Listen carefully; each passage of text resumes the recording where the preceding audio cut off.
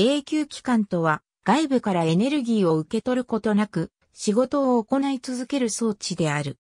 古くは単純に外部からエネルギーを供給しなくても永久に運動を続ける装置と考えられていた。しかし、慣性の法則によれば外力が働かない限り、物体は等速直線運動を続けるし、惑星は核運動量保存の法則により自転を続ける。そのため、単純に運動を続けるのではなく、外に対して仕事を行い続ける装置が永久期間と呼ばれる。これが実現すれば、仕事を得ることに関して、石炭も石油も一切不要となり、エネルギー問題などは発生しない。18世紀の科学者、技術者はこの永久期間を実現すべく、精力的に研究を行った。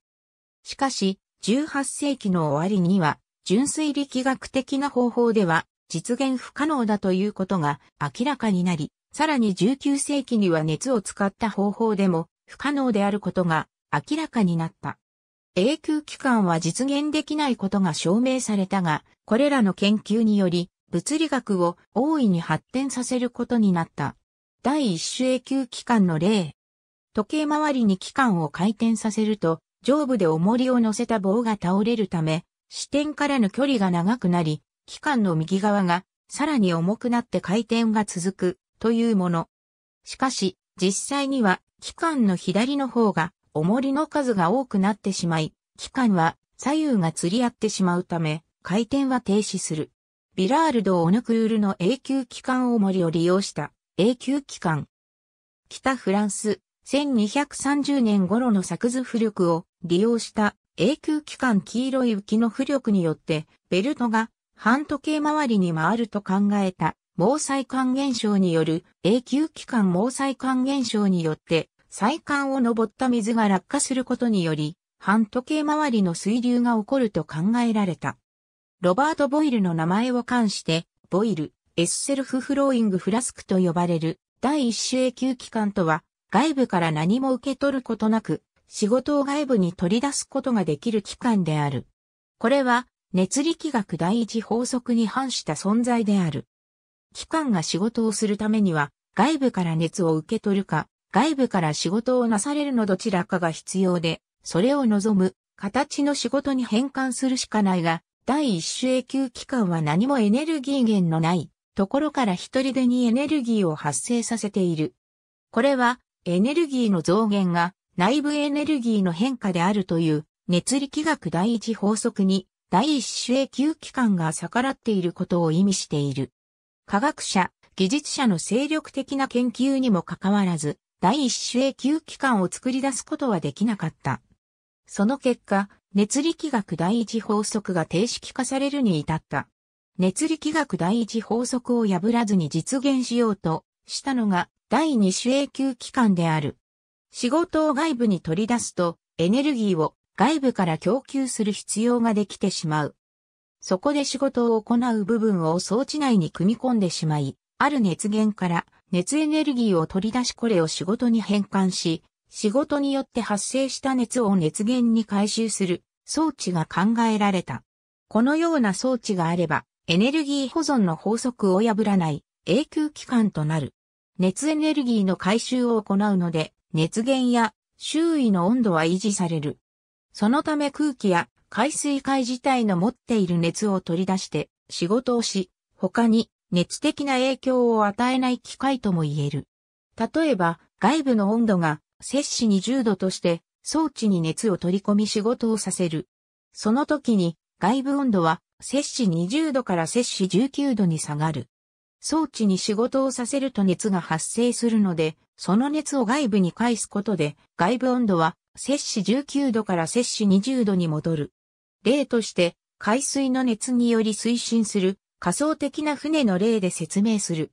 この船ではエネルギー保存の法則により取り出した運動エネルギー分温度の下がった海水の排水が出る。これを船の近傍に捨てるとする。一方では船の推進の摩擦による熱が発生し、船の周りに温水ができる。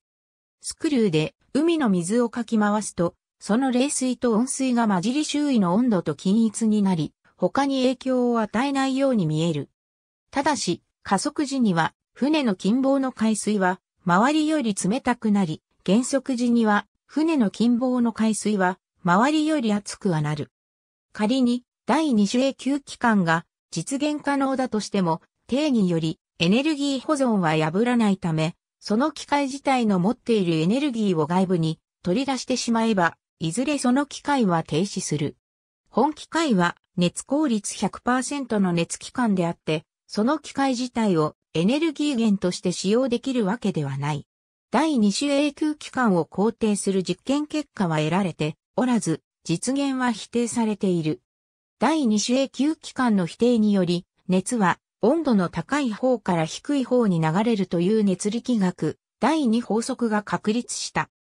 これによって、すべての熱機関において、最大熱効率が1.0以上になることは決してないため、仕事によって発生したすべての熱を熱源に回収することは不可能であるということになり、第二種永久期間の矛盾までもが確立されるに至った。外部温度を摂氏20度から摂氏19度に下げて外部から熱をもらう場合、その装置の温度は摂氏19度よりも低く、例えば摂氏10度である必要がある。装置に仕事をさせた後、装置の温度が摂氏10度から摂氏15度に上昇したとしても、摂氏15度の装置から摂氏19度の外部に熱を移動させることは普通はできない。行うとしたら、その熱の移動にエネルギーが必要となる。そして装置が仕事を行うにはエネルギーを使っても温度を摂氏19度以下に保つ必要があり、故に熱効率は100%未満になる。前述の海水の熱により推進する仮想的な船の例では、加速時に船の近傍の海水が周りより冷たくなり、減速時に船の近傍の海水が周りより熱くなるという熱力学第二法則に反する現象が発生する。無論、これは現実には起こり得ない。第二種永久期間に関する思考実験としては、以下のパラドックスが提案された。これらの思考実験について検討することは、熱力学の法則をよりよく理解するものとなる。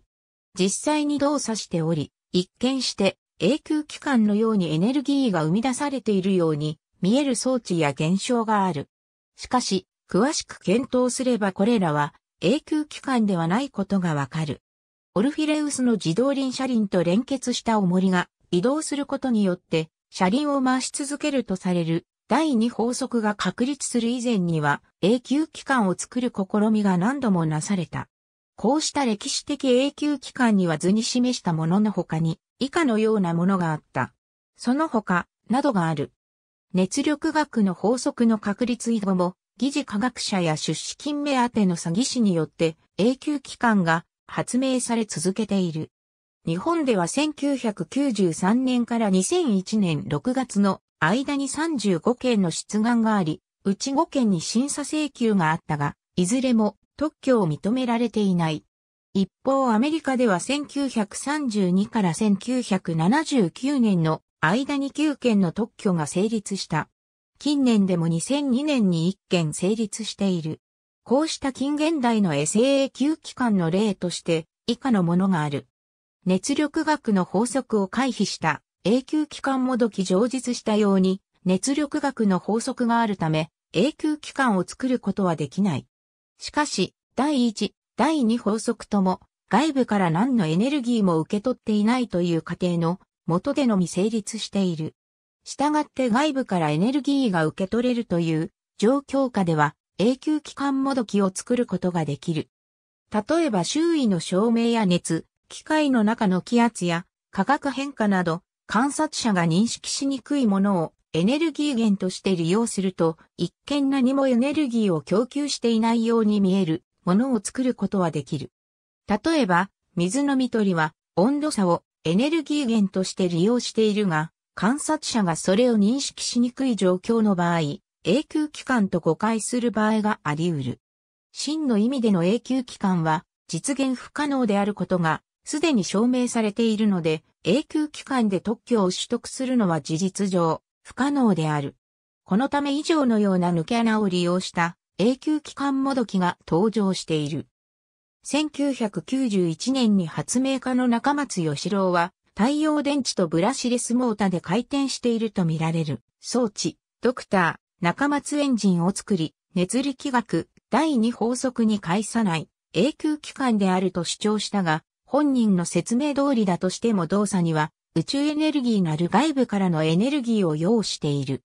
動作に摩耗と抵抗がないとされることも永久期間と呼ぶ根拠に挙げられており、いずれも永久期間という言葉が曲解して利用された例になった。2008年に大阪のジェネパックスが発表した燃料電池ウォーターエネルギーシステムはエネルギー供給なしに水だけで発電し、水が蒸発してなくなるまで発電を繰り返すと歌われていた。実際には金属を水に化学反応させて水素を生成しているため原理上反応が終われば水を入れても動作しなくなる。2011年に特許公開された球体循環装置は、ボールが空中落下と水中浮上を繰り返す装置であり、一見、浮力を利用した永久期間、浮力式モーターに似ており、報道されるや永久期間、あるいは、それを装っているのではないかと話題になった。この装置は、永久期間の浮力式モーターとは違い、水槽に鳥用給水器の原理を使っており、ボールの受水面での水圧はゼロであるため、空中を落下したボールはその勢いで容易に水没し、その後水槽中を浮上する。しかし、ボールが水没した際に、ボールと同体積の水が排出されるため、水を補充しながら動いており、水の補充には何らかのエネルギーが必要であるため、永久期間ではない。フィクション作品においては、エネルギー源に関する設定問題の解決や、科学常識の通じないオーバーテクノロジーの象徴などとして、様々な永久期間が登場している。また公言されていなくとも、エネルギー切れやエネルギーの補給といった描写が存在しない機械、装置もそれに準じたものが装備されていると言える。実現不可能な期間であることはもちろんだが、それ以上に現代科学では実現不能な超技術を支える存在として詳細が明らかにされていないことが多い。または魔術などオカルトめいた要素を加えた作品独自の科学分野が設定されていることもある。ありがとうございます。